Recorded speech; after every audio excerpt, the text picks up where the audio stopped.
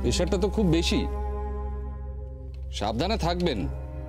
এরকম আবার পড়ে গেলে কিন্তু খুব রিস্ক হয়ে যাবে। কি হয়েছে? বাবা শরীর খারাপ শুনলাম। বাবা? বাবা এখন কেমন আছেন ডক্টর? এমনিতে ঠিকই আছে। কি হয়েছিল? মাথা ঘুরে পড়ে গেছিলেন। হ্যাঁ বিপিটা একটু হাই আছে। আমি ওষুধ লিখে দিয়েছি। আগে একবেলা খেতেন, এখন দুবেলা খাবেন। আর এই সুগারটা একটু চেক করিয়ে নিতে হবে। বয়স হচ্ছে তো। আর আপনারা একটু ওনার প্রতি খেয়াল রাখবেন। মানে অযথা টেনশন যেন না করেন। ডাক্তার, টেনশন তো হবেই। খাল কেটে কুমির ডেকে এনেছে আমার বৌমা। প্লিজ বাবা। এসব কথা এখন থাক। টিকলি? হ্যাঁ? যা ডক্টরকে একটু বাইরে এগিয়ে দিয়ে যা। হ্যাঁ গিনি গিনিব ডাক্তারবাবু আসুন। ঠিক আছে তাহলে? সাবধানে থাকবেন। ওনার জন্য কিন্তু নুন ছাড়া পাতলা ঝোল। আর কিছু নয়। আর রাইস অত্যন্ত কম। যতটুকু না হলে নয়। আর কম খান দীর্ঘদিন বাঁচুন। আসুন ডাক্তারবাবু। আসুন। কি হয়েছে বাবা? তুমি জানো না কি হয়েছে? সত্যি করে বলো তুমি জানো না?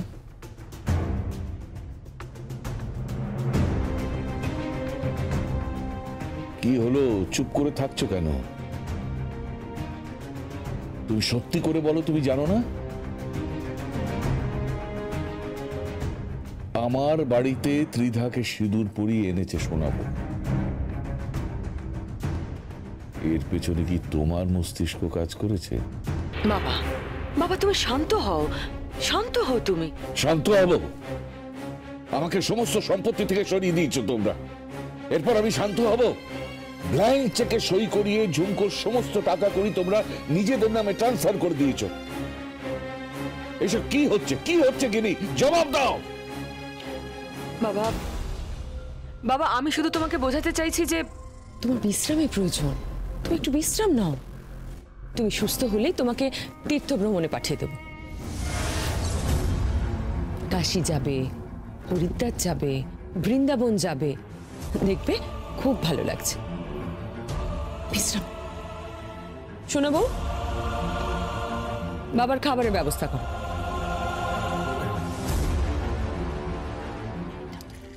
ছেড়ে দে আমি দেখে নিচ্ছি।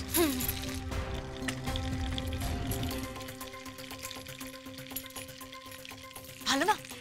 মাছে না বেশি করে লঙ্কার গুঁড়ো দাও যাতে খুব ঝাল হয় যেন খেলেই মুখ থেকে আগুনের হলকা বেরোয়। তুই কিচ্ছু চিন্তা করিস না। দেখ না ওই মেয়েটা কি হাল করি আমি?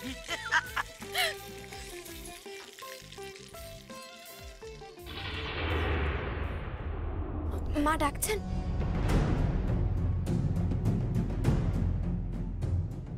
আমাকে তুমি মা বলে ডাকবে না সোনা বউ বলে ডাকবে এই বাড়িতে সবাই আমাকে সেই নামেই ডাকে। স্লিপারটা খোলো। বলছি স্লিপারটা খোলো।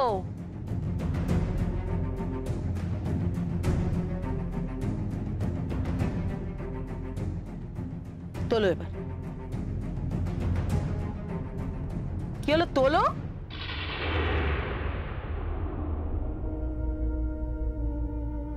এবার ওটাকে ওর পায়ের সামনে রাখো। রাখো।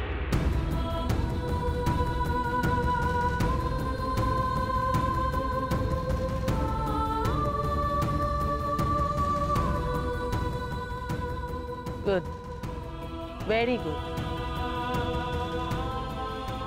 ত্রিধা আজ থেকে এই স্লিপারটা তোমার।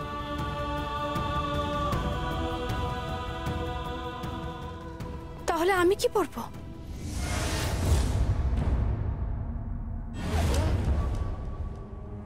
কেন?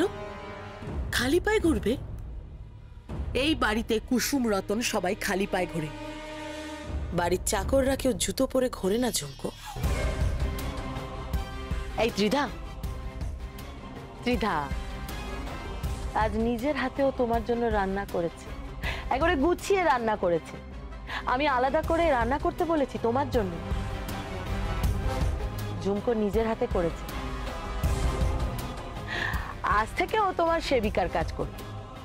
আয়া, কেয়ারটেকার, যাই বলো না কেন। আজ থেকে ও তোমার সেবা করবে যতদিন না কোহিনুর এই বাড়িতে ফেরত আসে। আর কোহিনুর একবার চলে এলে ও নিজের হাতে তোমাকে কোহিনুরের হাতে তুলে দেবে। হুম তোলাচ্ছি মা তোলাচ্ছি। একবার কোহিনুর বাবুর জ্ঞান ফিরতে দিন না। তারপর দেখুন কি হয় কত ধানে কত চাল। একবার আসতে দিন তারপর আমি আপনাকে বোঝাচ্ছি।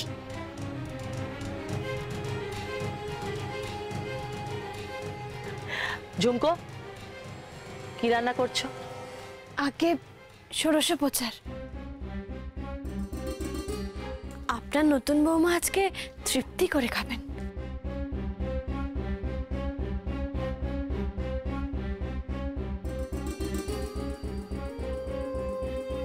এই যে নতুন বৌমা।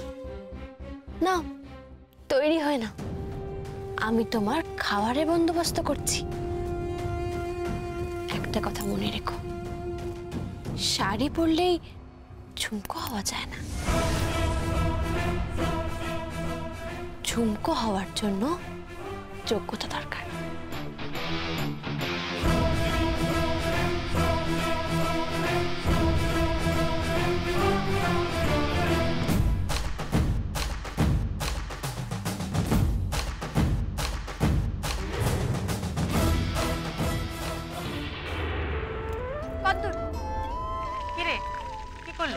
আর করবে প্রথমে শাড়ি নিল আর এখন পা থেকে চপ্পলটাও নিয়ে নিল।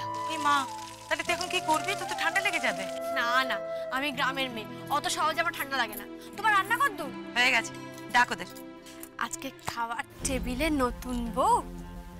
তোমার চোখ থেকে জল বের করেই আমি ছাড়ব।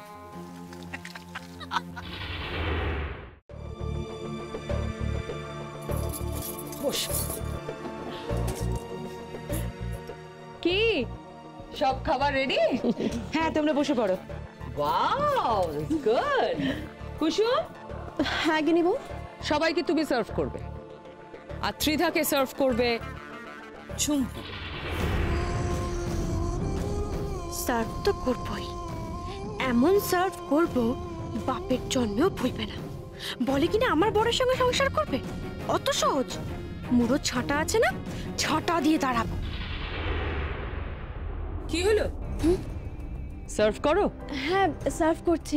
তার আগে দাদু ভাইকে খাবারটা দিয়ে আসি?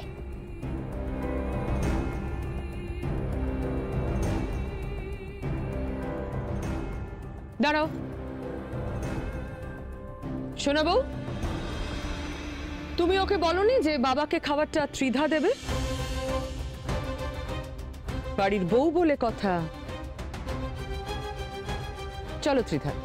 আমি তোমাকে বাবার ঘরে নিয়ে যাচ্ছি। আর বাবাকে বলবে, সব রান্না তুমি নিজে হাতে করেছ। খুব খুশি হবেন বাবার মনটা জয় করে নাও। নাও, ধরো। এসো আমার সাথে।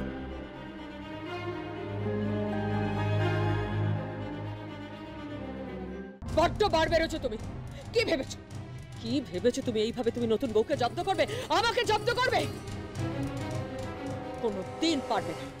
স্বয়ং পান্নালাল রায় তোমার পাশে দাঁড়িয়েও কিছু করতে পারবে না, এটা মাথায় রেখো।